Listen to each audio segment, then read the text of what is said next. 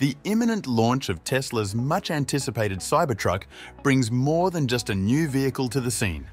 Alongside this, Tesla is introducing a groundbreaking innovation in EV technology, the Tesla Cybercell. This revolutionary battery is poised to succeed Tesla's current flagship, the 4680 battery, promising significant advancements in EV power. Firstly, let's dive into the need for the Cybercell, beginning with a look at the journey of the 4680 battery. Introduced by Elon Musk in 2020, the 4680 underwent several changes before reaching consumers. Its original design featured a nickel-manganese cathode and a graphite silicon anode. However, due to technical challenges, the final version saw the inclusion of cobalt in the cathode and the removal of silicon from the anode. These modifications led to increased costs and reduced performance, impacting the battery's market reception. The 4680's elevated price tag contributed to its limited deployment in Tesla vehicles. With an energy storage capacity of 81.2 watt-hours and an energy density of 229 watts per kilogram, it fell short compared to the older Panasonic 2170 batteries, which boasted 262 watts per kilogram. This reduction in energy density by 133% led to longer charging times and reduced range, resulting in lukewarm customer feedback. Consequently, Tesla ceased 4680 production after its initial run at Giga Texas, prompting a search for an alternative. Enter the CyberCell technology. Essentially an advanced iteration of the 4680, the CyberCell retains the same dimensions but incorporates significant technological improvements. Tesla's Senior Vice President of Powertrain and Energy, Andrew Baglino, reveals that it will offer around a 10% increase in energy density over the 4680, reaching up to 252 watt-hours per kilogram. This enhancement in performance is a major leap forward for Tesla, achieved without altering the battery's chemistry. Moreover, the Cybercell's consistent dimensions and design mean that vehicles originally intended for 4680 batteries can seamlessly transition to using Cybercells without requiring modifications. In essence, it represents the next evolution of the 4680 battery, a second-generation model boasting enhanced performance under a new name. While this might seem like a modest improvement on paper, it signifies a major stride for Tesla the company can now expediently introduce cybercell batteries into the market, leveraging existing production methods and technologies from the 4680 series. This leads us to ponder the initial application of Tesla's cybercell technology. The cybercell is slated for its debut in the Tesla Cybertruck, mirroring the cyber branding. Given the Cybertruck's projected weight of over 8,000 pounds, Tesla has been prompted to significantly enhance their battery performance compared to previous models. In preparation for the Cybertruck's release, Tesla has notably accelerated the production of Cybercell batteries in recent months. Since January 2023, Tesla has been active in its production efforts, manufacturing 10 million Gen 2 4680 batteries at Giga Texas in just the first half of the year, and doubling this output in the following months.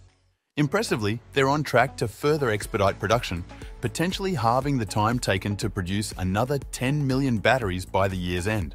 However, it's important to recognize certain challenges with the Cybercell. While its production scale is commendable, its efficiency is not yet on par with the existing Panasonic 2170 batteries. The 4680 battery, a precursor to the Cybercell, had an energy density of 229 watt-hours per kilogram, whereas it boasts about 252 watt-hours per kilogram. Despite this improvement, it still falls short of the 2170 battery's 262 watt-hours per kilogram. In terms of performance, the 2170 remains superior. The Cybertruck's heavyweight and high torque requirements mean it will be one of the most energy-intensive vehicles in Tesla's lineup. This underscores the importance of battery efficiency, especially if the Cybertruck is to maintain a competitive range. If Tesla standardizes the use of Cybercell batteries, this could result in a reduced range for the Cybertruck. Given the truck's expected multifunctional use, including heavy towing and hauling, the range reduction could pose a significant limitation. Considering the anticipated 500-mile range for the long-range Cybertruck variant, this goal seems increasingly challenging. To achieve even a 300-mile range, it would require a battery significantly larger than that used in the Tesla Model X, potentially increasing the vehicle's weight further.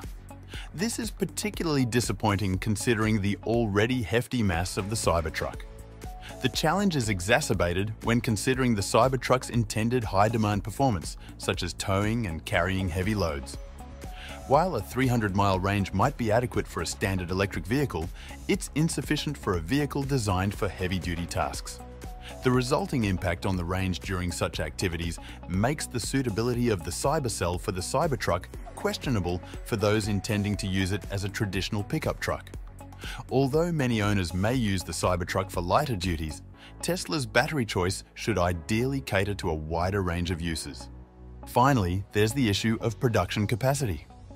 Despite ramping up production, Tesla's current output of Cybercell batteries doesn't meet the immense demand for the Cybertruck. With a weekly production rate that translates to around 34,000 trucks annually, this falls significantly short of the nearly 2 million pre-orders. The resulting wait time for pre-order fulfillment, although unlikely to be as long as 60 years, highlights the need for a more robust production strategy to meet the high demand for the Cybertruck and manage customer expectations more realistically. Taking into account all these factors, we arrive at a pivotal question what is the future of cybercell batteries? Optimistically, the prospects are quite bright. Tesla's deep investment in the development of cybercell batteries indicates that significant advancements are on the horizon. Foremost, we can anticipate improvements in the battery's mechanical design, enhancing performance without necessitating major structural or chemical changes. The evolution of the Cybercell battery, driven by process and mechanical design optimization, suggests upcoming enhancements in battery technology. These advancements could potentially elevate the Cybercell to match or even surpass the performance of the Panasonic 2170 battery. This potential is evident when considering its ability to store up to 10% more active battery material than its predecessor, the 4680 battery, a significant leap achieved without altering the battery's chemistry. Looking ahead, the second generation of Cybercell batteries is likely to incorporate both structural and chemical improvements. Drawing inspiration from the Panasonic 2170 battery, which features a silicon graphite anode as opposed to the Cybercell's current graphite-only anode, Tesla aims to further increase the energy density by at least 10%. This figure is expected to grow as Tesla continues to refine their technology. Another compelling reason for Tesla's focus on developing its battery technology is economic viability. By producing its batteries, Tesla stands to substantially reduce costs associated with outsourcing and purchasing pre-made batteries. Merging the higher energy density of the 2170 with the cost-effective production of the 4680, Tesla is poised to create a superior and more affordable alternative to Panasonic's batteries. However, this development is a future goal, meaning the Cybertruck will initially be equipped with the current generation of Cybercell batteries. The current version of the Cybercell battery is expected to be utilised in the twin-motor 300-mile Cybertruck model, providing adequate energy for this variant. In the future, we can anticipate newer iterations of the Cybercell that will likely power the extended range and high-performance versions of the Cybertruck. Tesla plans to release different trims of the Cybertruck sequentially, a strategy that differs from Elon Musk's initial promises in 2019, but is more realistic given the current technological landscape. Furthermore, as cybercell technology advances, Tesla is likely to achieve significant weight reductions in electric vehicles while enhancing battery performance. This implies that the tri-motor and four-motor Cybertruck models could be closer to launch than previously thought. Although Tesla is relatively new to the battery industry compared to established players like Panasonic, its progress in developing a competitive battery, despite the challenges surrounding the Cybercell, is noteworthy we should expect an increase in the production of Tesla's proprietary batteries, especially considering the limited initial use of the 4680 batteries. Overall, Tesla's rapid progress in the battery sector is commendable, even if Elon Musk occasionally tends to overstate the company's achievements.